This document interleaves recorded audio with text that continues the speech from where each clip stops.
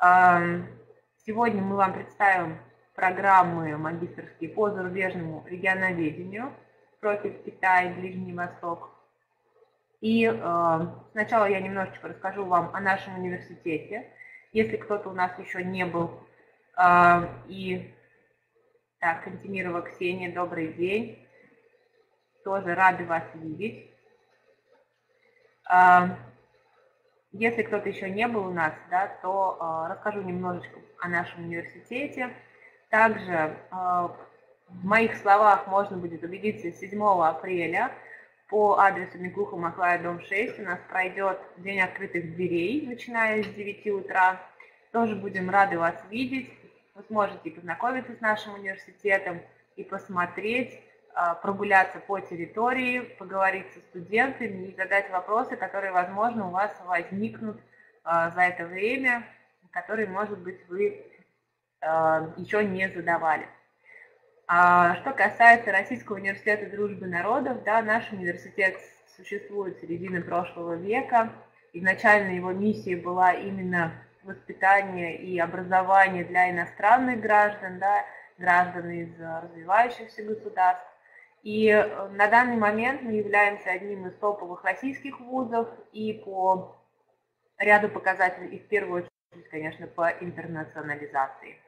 Что касается э, статистики, статистики да, немножечко о статистике. А, здесь вы видите основные показатели нашего университета да, по структуре вуза, по количеству студентов, которые у нас обучаются. У нас не только факультеты входят в состав Российского университета дружбы народов, но еще и а, институты и академии. А, при этом Российский университет дружбы народов действительно ну, классический университет, в котором преподаются и гуманитарные науки, и естественные, и технические, что позволяет нашим студентам действительно владеть широким и ассортиментом различных навыков и компетенций, и также получить образование да, на высшем уровне по той специальности, которой уже больше у него лежит душа. А, у нас а, обучается достаточно много студентов, порядка 28 тысяч человек. Это и российские, и зарубежные граждане, в примерном соотношении 70 на 30. А, и, как вы видите, у нас уже более 90 тысяч выпускников, которые живут не только в России и работают, но еще и за рубежом, а, в различных странах мира. А, они у нас отовсюду, из каждого уголка нашей большой необъятной земли, собственно, 155 стран мира представлены в одном университете. То есть вы можете познакомиться почти с каждой страной, обучаясь в РУДН. При этом это не только яркие представители своих стран, но и различных национальностей, их более 500 в РУДН. При этом у нас, как правило, у каждой страны существует свое землячество, и вы можете не только, собственно, учиться вместе с этими студентами, но еще и познавать другие культуры, языки уже непосредственно через общение со своими одногруппниками. А, помимо всего прочего, у нашего университета существует ряд весомых преимуществ а, перед другими вузами, которые позволяют нашим выпускникам быть далее конкурентоспособными на рынке труда, да, и при собственно, дальнейшем а, на дальнейшем э, жизненном пути, скажем так. А, это в первую очередь э, право устанавливать собственные образовательные стандарты, да, которых указано в презентации, если вы видите, то есть на базе государственного стандарта мы разрабатываем собственный, уникальный, который э, специально предназначен для наших студентов, да, с их, в связи с их потребностями, интересами, для того, чтобы дать более полную картину а, по той или иной специальности. Далее это самостоятельно присуждать ученые степени. Такое право у нас появилось недавно. То есть на базе нашего университета в ближайшее время начнут проводиться защиты, и которые будут а, апробироваться только в РУДН, да, не подавая в высшую аттестационную комиссию документы. То есть вы таким образом а, полностью проходите защиту в Российском университете дружбы народов. Безусловно, это приложение, общеевропейское приложение европейского образца, диплому Supplement, который также выдается нашим выпускникам и позволяет им в дальнейшем засчитывать успеваемость за рубежом, да, без академических справок, там, других выписок, а, а считается за документ, который принят, соответственно, в Европе. Далее, это один или три диплома переводчика. Все зависит от вас. Вы можете также взять как программу дополнительного образования, второй, третий иностранный язык, и также получить э, диплом государственного образца, то есть одно из ваших высших образований. Далее, э, что касается нашего факультета. Факультет наш достаточно молодой, он был образован в 1996 году. Возглавляет его Владимир Анатольевич Цык, доктор философских наук, профессор. Собственно, он был, э, факультет был преобразован из историко-филологического факультета, поэтому имеет гуманитарную направленность э, и специализацию. А, вы видите науки, которые представлены среди специальностей нашего факультета и направления, собственно. Что касается вот политических наук, у нас э, здесь широкий спектр специальностей, это политология и международные отношения – и, э, соответственно, зарубежное регионоведение, которое несколько, можно так сказать, новая специальность, да, вообще в образовании в России, но и специальность, которая пользуется достаточно популярностью среди бакалавров, и среди магистров. Собственно, э, на нашем факультете также э, работает порядка 15 кафедр, Подготовку по зарубежному регионоведению ведет кафедра теории истории международных отношений, собственно, а, где а, у нас преподаются и международные отношения. Поэтому профессорско-преподавательский состав и контингент студентов, он принадлежит одной кафедры. Как правило, на направлении зарубежного регионоведения у нас преподают не только преподаватели кафедры теории истории международных отношений, но и представители научно-исследовательских институтов, да, Институт э, Дальнего Востока, Институт Африки, э, Российской Академии Наук, да, МГИМО, э, МГУ и другие ведущие вузы, также э, представители других ведущих вузов ведут э, дисциплины в рамках э, магистратуры зарубежной регионоведения. Что касается кафедры теории истории международных отношений, то это самая крупная кафедра на нашем факультете. У нас а, порядка 600 студентов обучается, это и по направлению международные отношения, и зарубежное регионоведение. И а, кафедра, ну, одна из, можно так сказать, самых масштабных. Сейчас я передам как раз слово своим коллегам кафедры теории истории международных отношений, которые подробно вам расскажут о двух программах по направлению зарубежное регионоведения. Это доктор исторических наук, профессор Константин Петрович Курылев. Он вам может быть уже знаком по программам по международным отношениям. И э, наш молодой кандидат исторических наук, старший преподаватель кафедры э, Чекризова Ольга Сергеевна, она также расскажет о программах.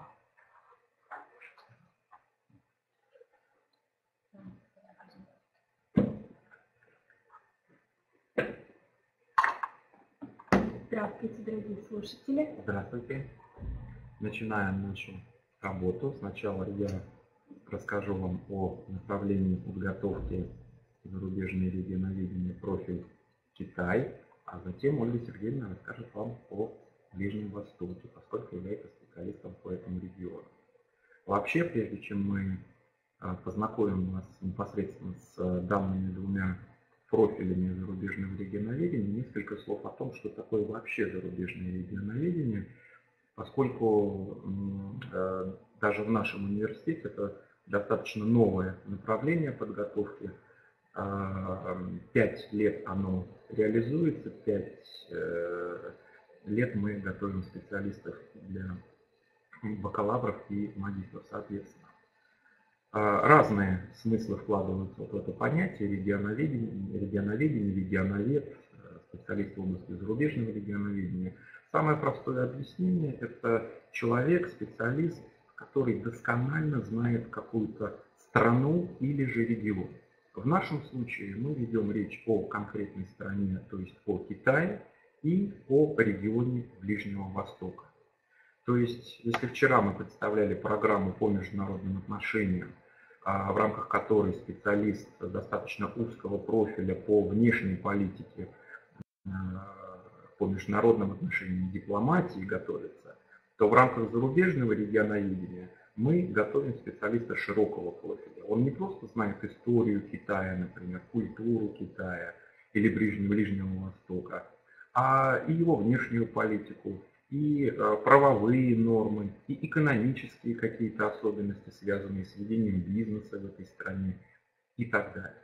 То есть в данном случае, когда мы принимали решение а, об открытии, руководство нашего университета принимало решение об открытии направления зарубежного регионоведения, а, руководствовались э, потребностями рынка труда. А эти потребности заключались как раз в том, что рынок хотел получить от образовательных учреждений специалистов вот по э, тем направлениям, регионоведческим направлениям, э, с которыми у нашей страны сегодня очень э, тесные отношения, политические, экономические и все прочие. Вот. Теперь непосредственно обратимся к направлению подготовки Китай. А, значит, что касается Китая, то а, здесь э, ситуация следующая. А, учебный план по данному направлению представляет собой набор дисциплин, в рамках которого 50% это обязательные дисциплины и 50% выборные дисциплины. Соответственно, студент, магистрант имеет возможность э, формировать собственную образовательную траекторию, подбирая те дисциплины из учебного плана, которые ему необходимы для будущей профессии. Соответственно, делая упор, а, допустим, либо на экономическую составляющую в плане изучения Китая, или же на а, юридическую или какие-то еще. А, Преподаватели – это и сотрудники нашей кафедры, как уже Евгения Владимировна сказала, и ведущие сотрудники других профильных структур, в первую очередь э, Института Дальнего Востока. Плюс нужно сказать, что мы сотрудничаем и с нашими партнерами на других факультетах, на других кафедрах, которые отдельные дисциплины предлагают, мы включаем их в учебный план, и, соответственно, магистранты тоже имеют возможность Э, их изучить. Что это дает? Это дает междисциплинарность. То есть само по себе регионоведение, и в данном случае профиль Китая является междисциплинарным, но и подготовка с учетом э, ориентированности преподавательского состава тоже является междисциплинарной. А, важно отметить, что э, при поступлении в магистратуру зарубежного регионоведения по профилю Китай, обязательно нужно знать китайский язык. Это ключевое требование для поступающих. А, уровень подготовки, уровень знания китайского языка должен составлять пятый уровень. Пятый уровень. Почему это так важно? Потому что а, поскольку а, магистратура это носит характер научной, научно ориентированной магистратуры, Конечно же, вам необходимо будет изучать э, предметы в первую очередь с опорой на источники и на литературу на китайском языке. И, соответственно, вам необходимо для того, чтобы знакомиться с современной научной литературой, периодикой, ведущими журналами, китайскими не только, знать в первую очередь китайский язык. У вас будет возможность изучать и другой язык э, в э, магистратуре. Желательно, конечно, чтобы он не был восточным, чтобы э, хоть как-то облегчить себе учебную жизнь и учебный процесс. Ну, наверное, вы сориентируетесь и европейский язык выберете в качестве второго. А, имеется практика на этом направлении, как и на всех прочих направлениях. Практика осуществляется в, на ведущих наших базах, которые мы предлагаем, а, в том числе а, с нулевым, Никита, никак, да, никто не будет здесь, э, как вы понимаете, в группе, сильной группе, э,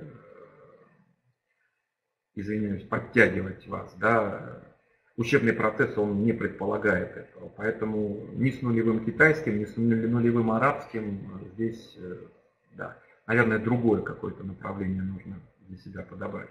Так вот, что касается, это я ответил на вопрос нашего слушателя.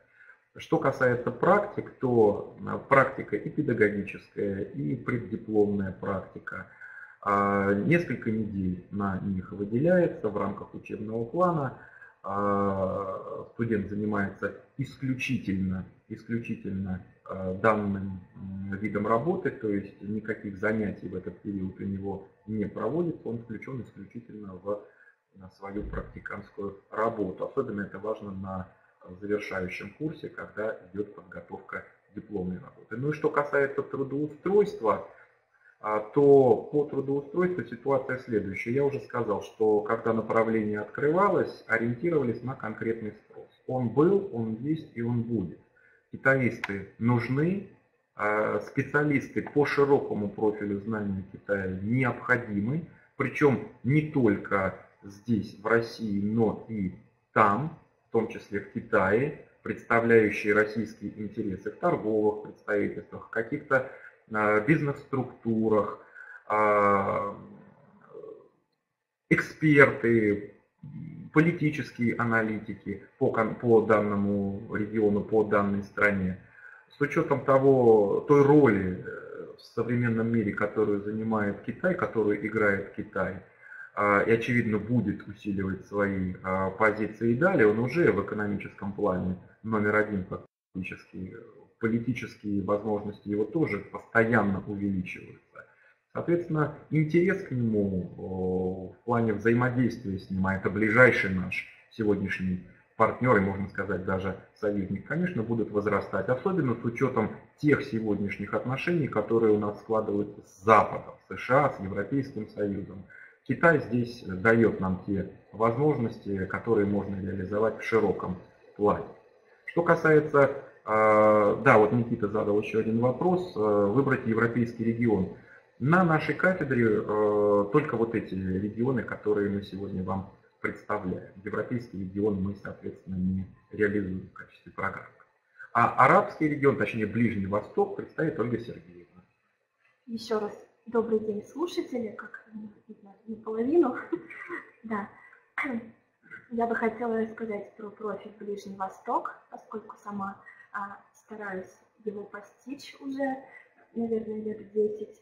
А, и стоит отметить, что часть информации, естественно, актуальна, то, что говорил Константин Петрович в плане выборности дисциплин, а, в плане востребованности, я бы даже сказала, превышает, наверное, не обидятся наши коллеги-китаисты, превышает дефицит арабистов, поскольку с одной стороны, кажется, что и публикации по региону Ближнего Востока в связи с его а, такой остротой да, ситуации в нем чрезвычайно высока. Тем не менее, присутствует дефицит специалистов а, со знанием арабского языка. Вот, и, собственно, на нашем профиле Ближний Восток, конечно, акцент делается на арабистах и именно на арабских странах, хотя изучается и а, Турция, и Иран, и Израиль, как неотъемлемые части региона, да, у которых была общая историческая судьба. А, значит, нужно также отметить, что на всех программах, в частности на а, регионоведении профиль Ближний Восток, присутствует возможность языковой практики за рубежом, время регулируется в соответствии с договоренностью с вузами-партнерами. Это может быть и один семестр, 4 месяца, а, и могут быть какие-то а, краткосрочные, месяц-два стажировки. И страны, которые, с которыми имеются партнерские отношения, это Ливан, Ливанский государственный университет. Сейчас ведется работа и переговоры по а, подписанию рабочих программ и установлению возможности открытия программы двух дипломов. Это перспективные такие замыслы нашего факультета. А также это Марокканские университеты, город Фес, Мухаммадия. А, и а, также есть связи с Египтом, с рядом университетов Египта. Но, правда, были э, сложности авиасообщением, да, возможно, если они будут в ближайшее время окончательно решены все проблемы в российско-египетских отношениях, возобновится и сотрудничество с Арабской Республикой Египет. А, изучаются дисциплины на а, данном направлении тоже очень а, разного профиля, разные, начиная от этнопсихологии, постижения специфики менталитета народов, проживающих в регионе, там порядка даже сложно сказать, до порядка, наверное, 300 этносов представлено. Конечно, в рамках учебного процесса невозможно достичь все, но мы стараемся приблизиться, да, по крайней мере, титульные, самые многочисленные этносы изучаются. Это этикет, особенности ведения переговоров и дипломатических, и в рамках сотрудничества по линии бизнеса. Изучается, естественно, конфессиональный компонент, поскольку без знания религии, а, в первую очередь ислама, также невозможно полностью и компетентно быть по данному региону. А, и, конечно, вот предоставляется выбор, где вы сами корректируете ваш учебный план в соответствии с научными интересами, так же, как вы сами избираете себе тему для вашего магистрского исследования. А, что еще стоит добавить, может быть, сориентирует вопросы? А, вопросы уже пошли, да. смотрю, но они скорее всего, для Евгения Владимировны. Общего характера. Но по поводу отсрочки мы можем сказать, что да, отсрочка предоставляется, конечно же. Что касается того, как определяется уровень китайского языка, то вот э, беседовавшая ранее с вами Евгения Владимировна Журавлева, она как раз наш профильный китаист на кафедре. А, и э, она, да, ответит на этот вопрос. Э, то же самое касается и общежития. Она просто более плотно этим темами занимается, поэтому более компетентна. Какие-то вопросы по учебному процессу, по практикам а, есть ли у вас, коллеги?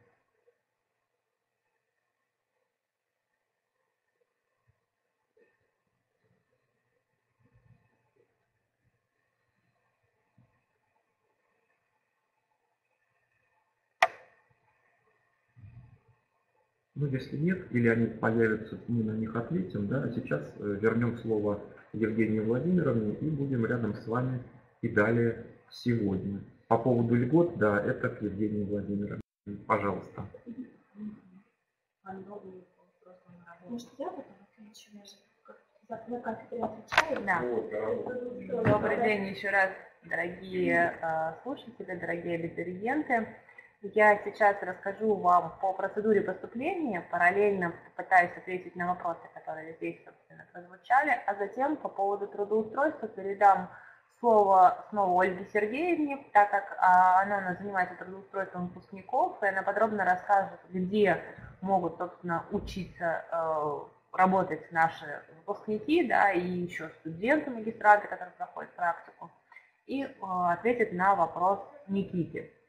Что касается процесса поступления, да, об этом неоднократно уже говорилось в ходе наших э, вебинаров, да, но я не устану это повторять, буду об этом повторять и повторять, пока вы к нам не придете в приемную комиссию, да, и не подадите документы, и не попробуете, не попытаетесь поступить в нашу магистратуру. Мы э, начинаем свою работу 20 июня этого года. Э, начнем прием документов, собственно, на бюджет. А, закончим 20 июля, ровно через месяц. Затем будет экзаменационная неделя а, с 21 по 26 июля будет определен день экзамена для абитуриентов, которые хотят поступить в магистратуру, и проведен сам экзамен. Собственно, а, что касается контрактной формы обучения, то здесь у нас будет, здесь у нас с вами будет прием документов до 28 августа, то есть времени еще будет достаточно. Но э, я думаю, что нужно будет пытаться, в первую очередь, поступить, конечно, на бюджетную.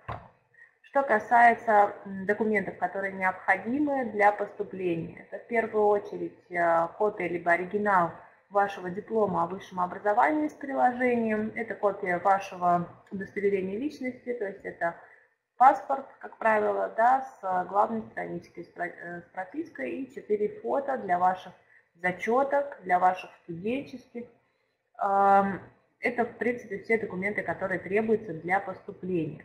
Безусловно, э, при поступлении в магистратуру есть ли какие-то льготы после службы в армии. Вижу вот вопрос от Селина Ивана.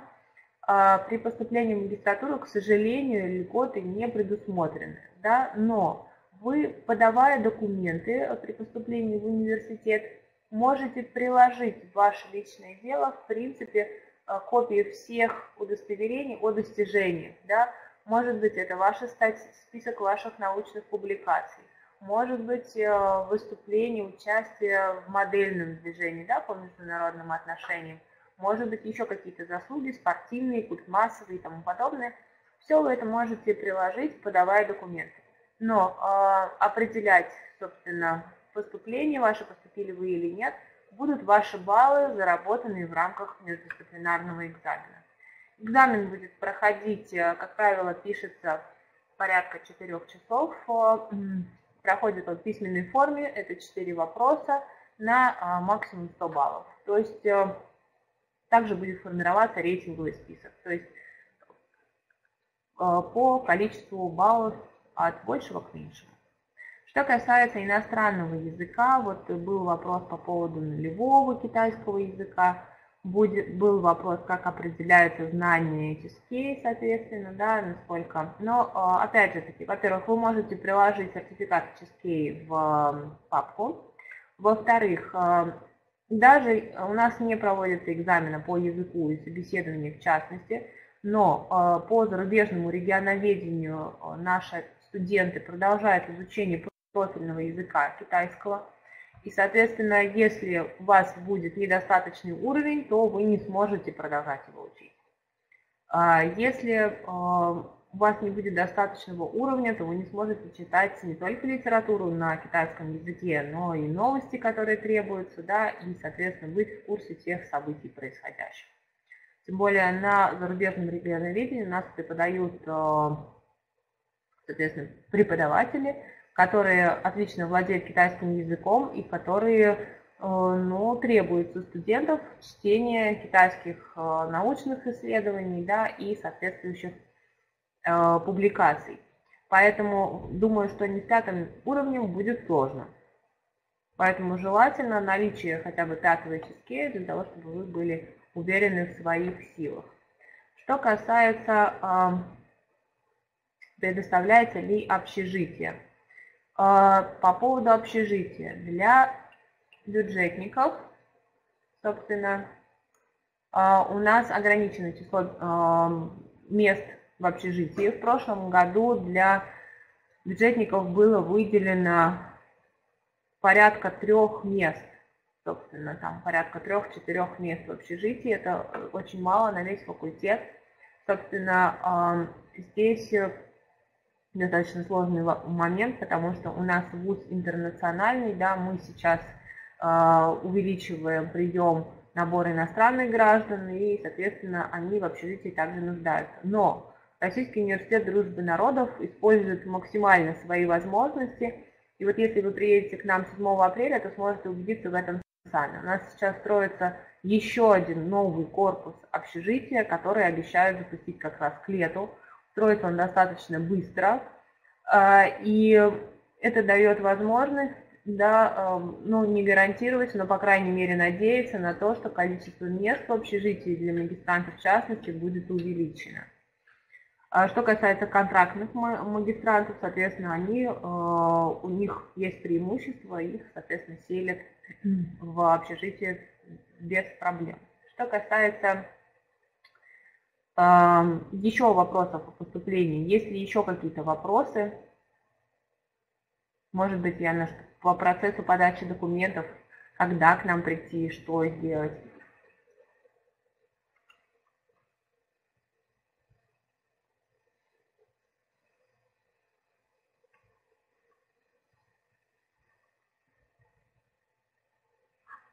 Нет вопросов. Так, Никита что-то написал, но написал на английском языке.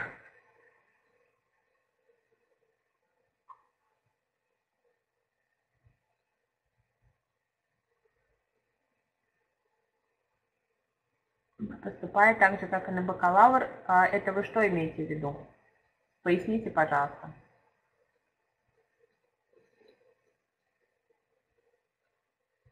Вы, наверное, про общежитие имеете в виду.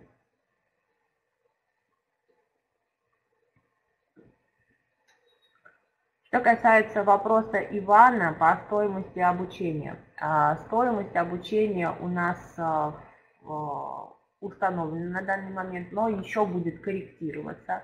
Могу вам озвучить э, цифру, которая у нас будет, э, соответственно, пока что. Да, вот она озвучена 267 тысяч рублей в год. А, но возможно корректировка стоимости еще до начала приема документов. Правила поступления только на сдачу внутреннего экзамена. Нет, не так же, как на бакалавриат, потому что у нас а, для бакалавров не предусмотрено внутренних а, испытаний, кроме тех, кто поступает у нас из-за рубежа и, соответственно, на, после окончания колледжа или техникума, не специальное высшее образование, а, специальное профессиональное образование. Соответственно, мы а, внутренние экзамены для бакалавров не проводим. То есть э, мы принимаем только результаты ЕГЭ. Если у нас есть такие слушатели здесь, да, то мы ждем ваших итогов а, ЕГЭ, и только по этим баллам мы будем принимать вас. Так, ко мне вопросы еще есть какие-то?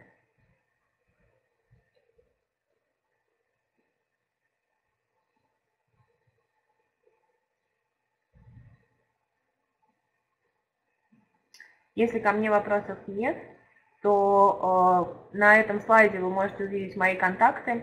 Если вдруг возникнут вопросы вдруг после ваших раздумий, вы можете мне написать и задать этот вопрос непосредственно мне. Также мы вас э, ждем 7 апреля на день открытых дверей для того, чтобы познакомиться с нашим университетом. А, напомню, он пройдет 7 апреля с 9 утра в, сначала в главном корпусе Российского университета дружбы народов. Это по адресу Миклуха, Маклая, дом 6, это метро либо Беляева, либо Юго-Западная.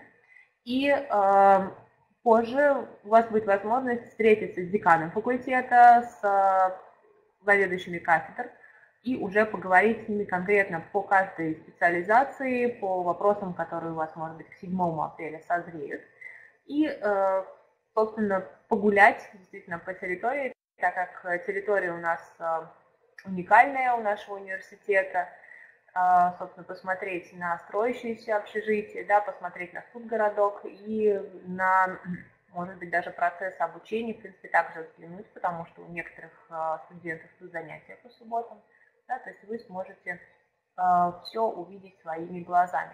Сейчас передам слово Ольге Сергеевне снова, и она ответит на вопрос по поводу трудоустройства.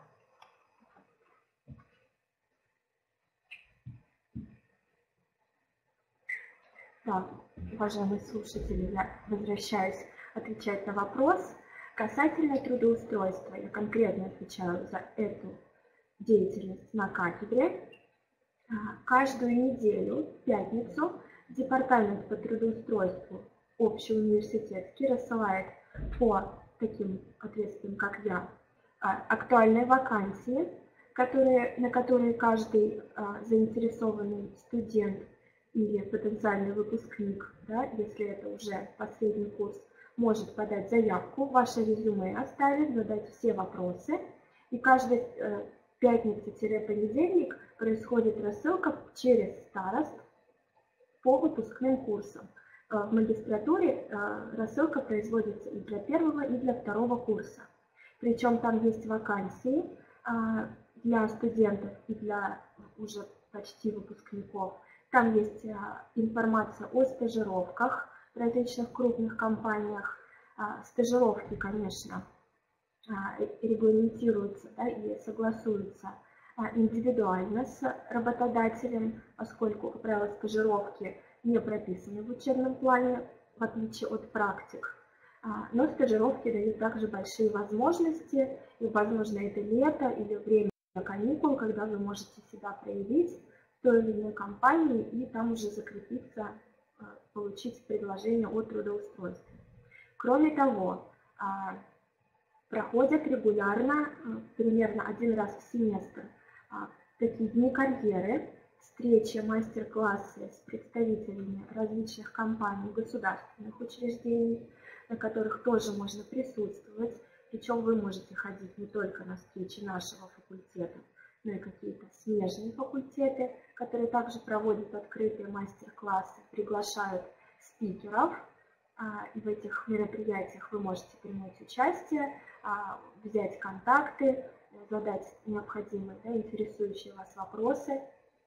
А, в принципе, поскольку нет у нас уже как в Советском Союзе распределения, да, факультет и университет максимум оказывает поддержки в информировании студентов и выпускников о вакансиях. Дальше, конечно, сопровождают до определенного этапа процесс трудоустройства. Более того, даже а, организуются такие небольшие а, узким кругом мастер-классы по прохождению интервьюирования с работодателем. То есть это вам а, может оказать всяческую помощь в прохождении собеседования. Вот такие есть возможности. Вакансии, как я уже сказала, регулярно обновляются. А, есть партнерские соглашения, эти вакансии не с HeadHunter, да, с какого-то еще сайта с вакансиями, а, вакансии попадают напрямую, иногда даже не завешиваются никуда, потому что есть а, фирмы и учреждения заинтересованы именно в наших выпускниках, причем как российских, так и иностранных, с уникальными компетенциями, которые предоставляет РУДН в нашей мультикультурной среде. Поэтому вся поддержка, которую только можно. В случае, если вы высказываете да, такое желание трудоустроиться, мы оказываем. Вот, без э, каких-либо проблем. Отвечаем на вопросы, помогаем связаться, направить резюме, подкорректировать резюме и дальше сопровождаем а, полностью этот процесс. И еще одна возможность. Бывает, приходят запросы конкретно на факультет или на кафедру, о специалисте, допустим, с конкретно набором языков или специальность плюс язык, разные комбинации. Вот. И мы ищем кандидатуру по данному запросу. Такие запросы обычно приходят а, из политических партий, а, были прецеденты, а, из органов государственной власти, федерального и муниципального значения. Надеюсь, я смогла ответить на ваш вопрос. Так. Вам тоже спасибо, Никита, что задали такой важный, затронули такой важный аспект. Возможно, еще что-то, что-то было непонятно, или возникли вопросы к Евгении Владимировне. Евгения Владимировна, наверное, вас для завершения. Так, Ольга Сергеевна меня вновь пустила к микрофону. Если у нас больше нет вопросов э, к нашим спикерам уважаемым, да, или ко мне по выступлению, то вы всегда можете опять-таки позвонить, да, написать на нашу почту и задать интересующие вас вопросы. Очень рада была снова с вами сегодня здесь находиться. Э, видела людей, которые у нас вчера подключались э, к эфирам. Да. Ждем вас снова на наших э, вебинарах. Следующий состоится во вторник. А, поэтому посему, собственно, прощаюсь с вами. До новых встреч. Надеюсь увидеть вас 7 апреля. И, конечно же, уже 20 июня ждем вас с пакетом документов у нас на пороге в главном корпусе. До свидания.